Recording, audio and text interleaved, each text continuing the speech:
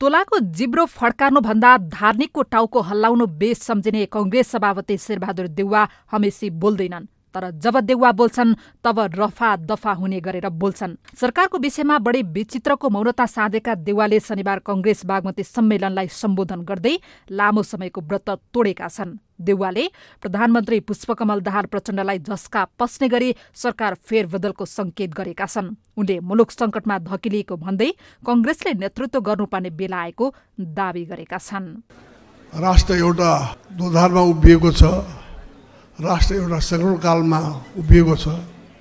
अहिलेको बेला हामी सबैले मिलेर काङ्ग्रेसले खास गरेर नेतृत्वदायी भूमिकामा बसेर हामीले नेपाललाई जो अहिले समावेशी समानुपातिक व्यवस्था गणतान्त्रिक लोकतान्त्रिक व्यवस्था हामीले नेपालमा स्थापित गरेका छौँ।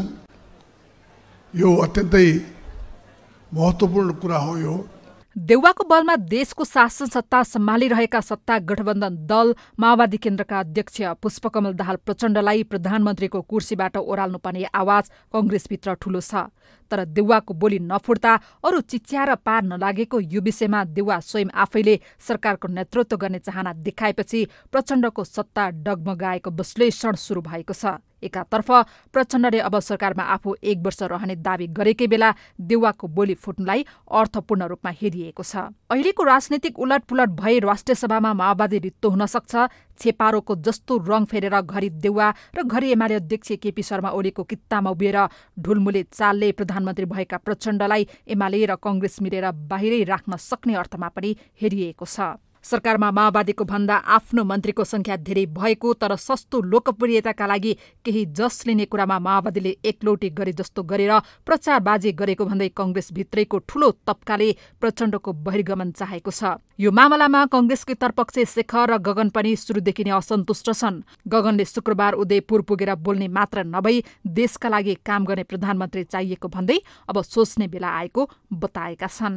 मैले प्रधानमन्त्रीले बोलेको दिनदिनै सुनिरहेको छु एक वर्ष भयो एक वर्ष पुगेको दिन म यो गर्छु म त्यो गर्छु भनेर भनिराख्नु भएको छ अब काङ्ग्रेसले प्रधानमन्त्रीलाई भन्ने बेला आएको छ एक वर्ष तपाईँलाई साथ दिउँ एक वर्षभित्र मैले धेरै गर्न सकिनँ भन्ने कुरा तपाईँले स्वीकार गर्नुभएको छ र यो नयाँ वर्ष नयाँ ढङ्गले काम गर्छु भन्नुभएको छ हाम्रो तपाईँलाई पुरा साथ रहन्छ तर एक वर्षभित्र काम गर्छु भन्ने कुरा हेर्नको लागि हामी अर्को एक वर्ष कुर्दैनौँ गगनहरूको बोलीमा देवालले लोली मिलाइदिएपछि प्रचण्ड सरकारको दिनगन्ती सुरु भएको छ। प्रचण्डको सत्ताको साँचो देवाकै हातमा छ। देवालले चाहेको खण्डमा प्रचण्ड छिन मिनटमा सत्ताबाट बाहिरिने पक्का छ।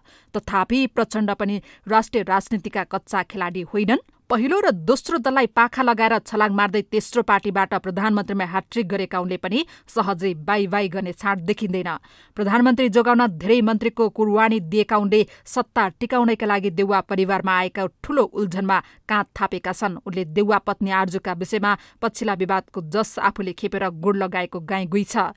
त्यही भएर पनि देउवा तत्कालै उनलाई चिडिया र सत्ताबाट गलत्याउने पक्षमा छैनन्। यदि त्यस्तो परिस्थिति आए वा प्रचण्डले प्रधानमन्त्री छोडेर देउवाले नेतृत्व गर्ने अवस्था आए माओवादी कङ्ग्रेस मन्त्रीमण्डलमा सामेल हुन्छ कि हुँदैन भन्ने अर्को प्रश्न जीवित छ।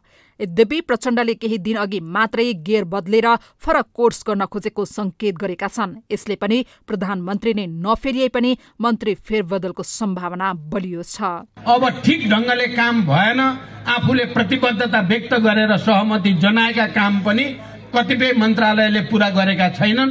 त्यस्ता मन्त्रालयलाई पुनर्गठन मन्त्री फेरेर भए पनि कामलाई गति दिनेतिर मैले प्रतिबद्धता व्यक्त गरेको यता प्रमुख प्रतिपक्षी दल एमाले पनि जोखाना हानेर बसेको छ। प्रचण्डलाई तह लगाउन पटक पटक देउवासँग कुम जोड्न तयार भएका ओली अहिले मौन छन्। देउवाको ग्रिन सिग्नल नपाएर लत्रिएको एमाले यही मौकामा खेल्न सक्ने एका थरीको बुझाइ छ। झुलाघाट भन्ज्याङ यात्रा सकेर थकाई मारिरहेका ओली र एमाले जनको मौनताका बीच देउवाले सरकारको नेतृत्व गर्ने चाहना व्यक्त गर्नुले भित्रभित्रै केही खिचडी पाक्दै छ कि भन्ने शङ्काको दृष्टिले हेर्न थालिएको छ।